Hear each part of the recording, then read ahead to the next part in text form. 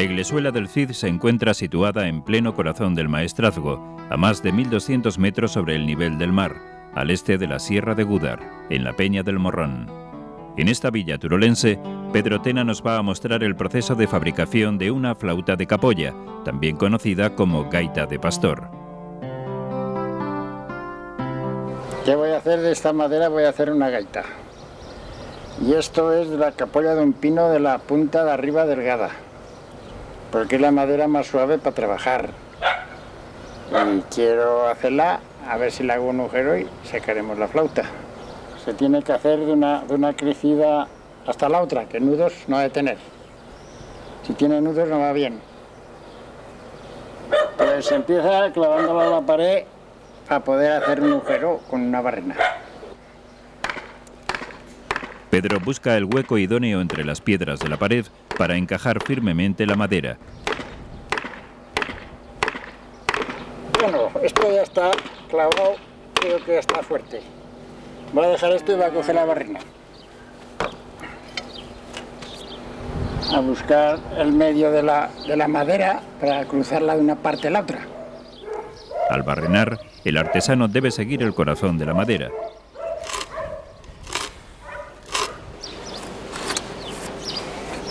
Vamos a cambiar de, barrena. Ha de ser más pequeña. Antiguamente los pastores se servían de un hierro candente para vaciar la capolla. Hoy, Pedro emplea barrenas de diferente grosor, de forma que el orificio vaya estrechándose al profundizar. Bueno, esto ya está acabándose. Ya está final. Cuando la totalidad de la madera sobresaliente ha sido perforada, el artesano cierra la capolla.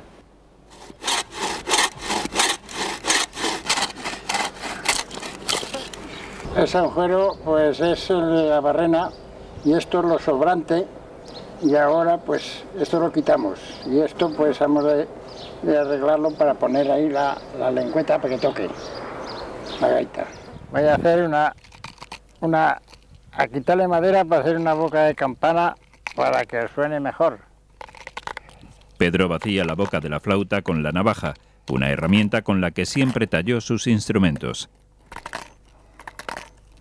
Cuando era pastor, hacía yo estas cosas. Sí, como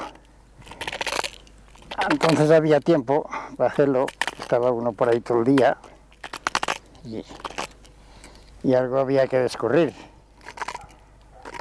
La formación artesanal de Pedro es completamente autodidacta. Pues bueno, una cosa que esté bien, a lo mejor unos 4 o 5 centímetros más ancha que lo demás. Lo demás ya tiene que ser de disminución, entra más arriba más delgado.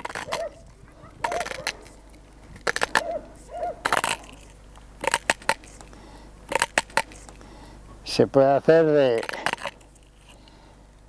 de madera de arracadero y de varias maderas. también hay quien hace de, de carrasca y maderas fuertes, pero ya no las hacen a mano, las hacen con otra cosa. hacerla con una navaja es una madera suave. Creo que ya valdrá porque ya es bastante chico. Esto ya está, está en condiciones para emprender otra cosa. Ya, ya hemos hecho la boca de campana. Ahora vamos a rebajar la madera.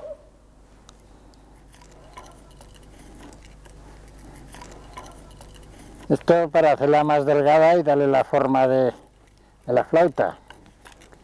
Porque si no, no, no queda bien. Hay que quitarle madera, así se deja más en condiciones.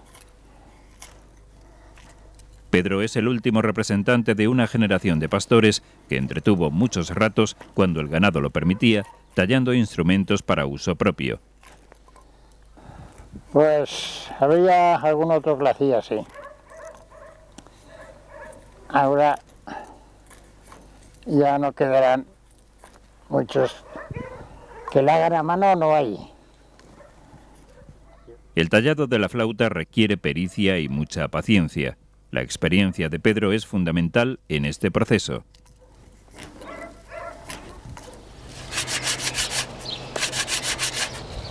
Estamos refinando la madera para que esté más, más suave la, la flauta, la gaita.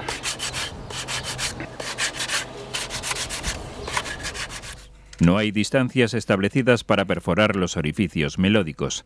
Pedro ha fabricado sus propias plantillas, basándose en instrumentos en los que ha dado con una afinación satisfactoria.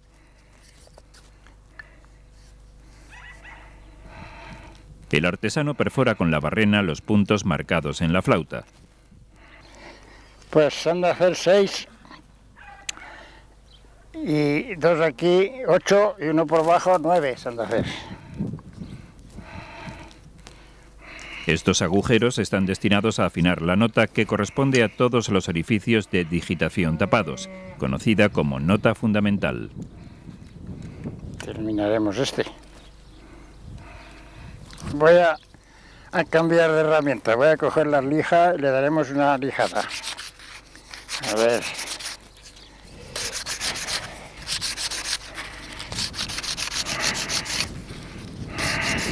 Este ya está terminado. Ahora vamos a hacer la boquilla. Y así veremos si toca. Ya lo tenemos. He estado unos cuernos para sacar unas estillas para hacer la lengüeta de la flauta. Y aquí ya tengo unas estillas sacadas para prepararlas.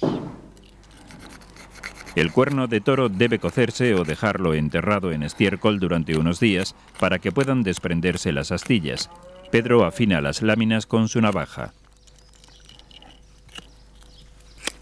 Hay que cortarla para los lados, así, quitándole la acción. Así, para que después ella se junte. Ahora voy a juntarlas las dos y después probaremos a ver si tocan.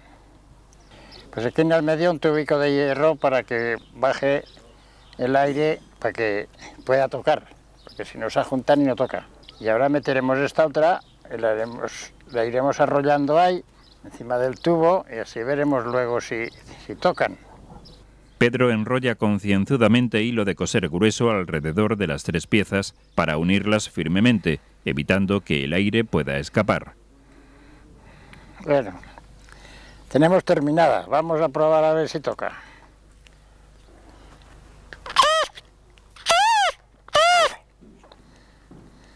Ruido ya hace, a ver lo que saldrá.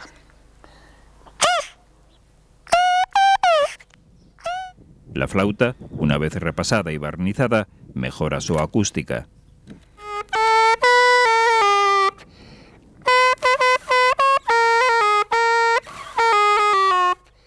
El timbre de las flautas de capolla o gaitas de pastor formó parte del paisaje sonoro de estos montes y vegas. Pedro Tena, con su artesanal dedicación, contribuye a mantener vivo este legado musical. Soy Eugenio Monesma, director y productor del documental que acabas de ver. Si te ha gustado, te animo a que te suscribas activando las notificaciones desde la campanita y así podrás disfrutar de los cientos de documentales que ya tengo en el canal y de los que semanalmente voy a ir subiendo.